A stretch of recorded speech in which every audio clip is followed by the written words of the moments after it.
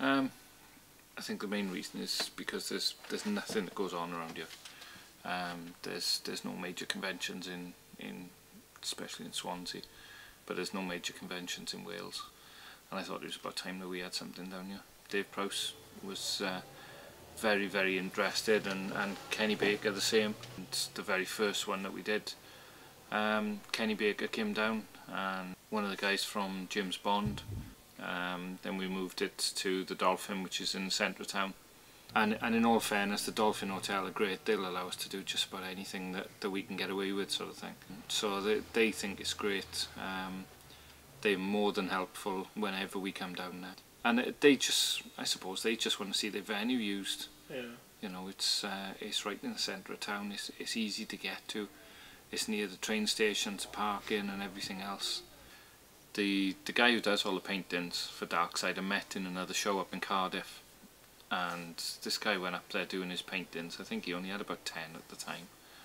And I just thought they were really really different and uh, expressive. And I thought they brightened up the place. I think they scare off the people that go in as well but uh, that's half the fun of it.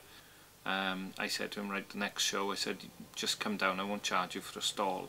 And we'll just class you as an exhibition brought some of his paintings down um, for the second one um, and for Heroes and Legends 3 he's bringing more down. Uh, this is the Darkside Gallery. Uh, we call it Contemporary Art for the Seriously Disturbed.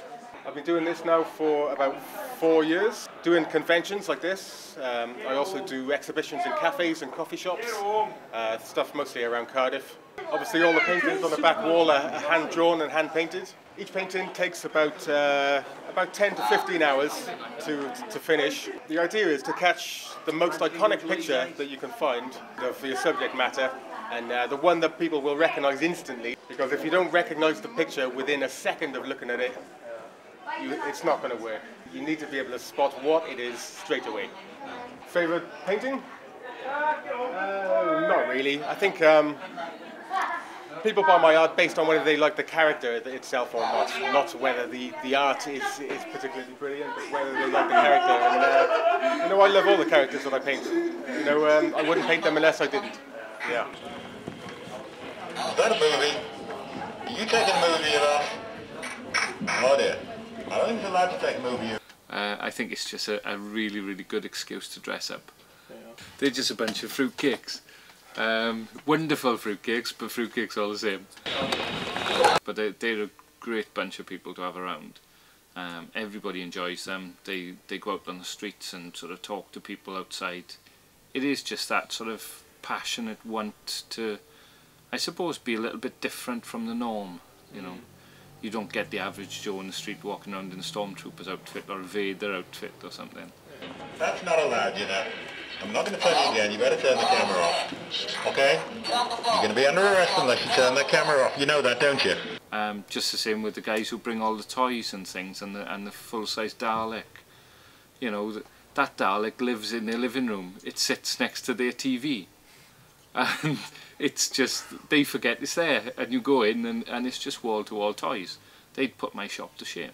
Whatever new on the market, I gotta have complete sets, models, toys, gimmicks, anything. My house is absolutely full. Every room has got something in it and this is just a fraction of my collection. I got every TV show, movie, Babylon 5, Star Trek, Star Wars, Space 1999, Battlestar Galactica, I love them all. Any sci-fi show that comes out, any merchandise from that show I try and get. But anything that comes out I try to get my hands on. If it doesn't look right, I'll make it right, I'll paint it till it looks right custom build models myself. I couldn't begin to tell you how much yeah. money is on that table right now. Even something I bought for under a tenner might be worth a lot more. And some things I've bought for a lot of money might not be worth as much as I paid for it. so I really couldn't say. Something I could find in a, in a car boot sale, something I could find on eBay for a couple of pounds could be worth a lot more. I'm not uh, an expert myself, I'm just a collector. Like we've got a, a comic artist, which is Anthony Williams, He's a, a Marvel comic artist. Um, he's done Spider-Man, he's done Punisher, Um, he's done Judge Dredd, some of the top comics in the world. About 70% of my work nowadays is commercial work outside of comics, so it's uh, doing artwork in marketing. It could also be storyboarding, which is not dissimilar to comics again, so I storyboard for adverts and television programs. For instance, probably the best known would be uh, the first series of Doctor Who, where Rose first meets the Doctor, for instance, I storyboarded all that about six months to a year before it came out, so I knew what was going to happen there, and I knew who was the doctor. And it's nice to have a secret like that. I was very smug about it. I used to. I used to do quite a few. Um, so when I was doing purely comics, I'd do all the comic conventions, uh, and I'd go over to San Diego, New York, do those ones, etc., and do signings. But since being out of the loop of that, I tend not to do them quite so much. I occasionally will go along to an event. I'm, I'm looking to get back into the comic side a, bit more now anyway, because I'm missing it, to be perfectly honest. So uh, I think I'll be looking for more work from Marvel and DC, and off the back of that, probably doing more conventions and more signings and more of these sort of events. So. Yeah.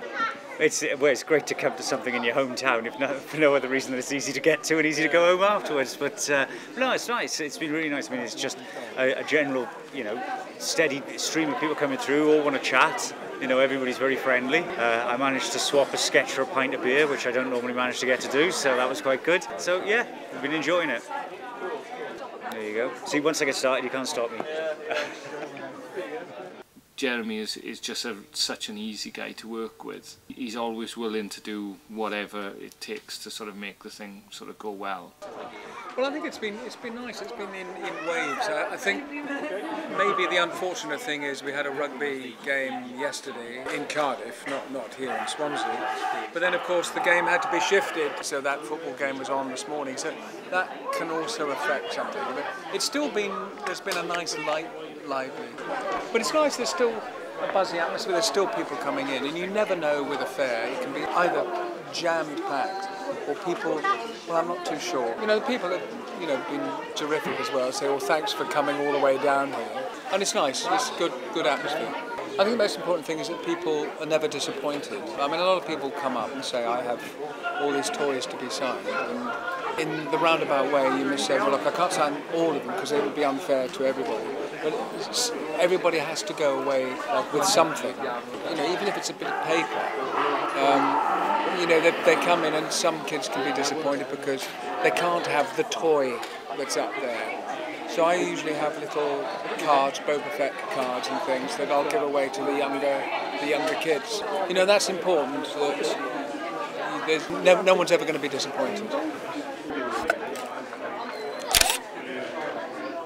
we were actually up in London Film and Comic Con. We were doing a stall up there and we were directly opposite a stall that, that Ian Whyte was on. I sort of was thinking he's he's actually a little bit, maybe a little bit too big for our show.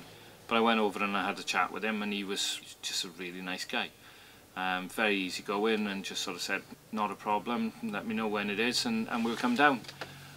These sort of events, you know, they, they vary a great deal. I like little intimate gigs like this, you know. I, I, I just met the uh, the organizer at another gig, and he said, "Listen, we've got this show. It's very small, it's very intimate, It's very localized. Would you mind coming down?" I said, "Yeah, sure, it's fun." And I really enjoy that, you know, because it's nice. You know, it's there's no pressure, there's no hassle, and you get to meet nice people. Yeah, it's good. Very surprising actually. I was just, I was expecting it to be very very quiet.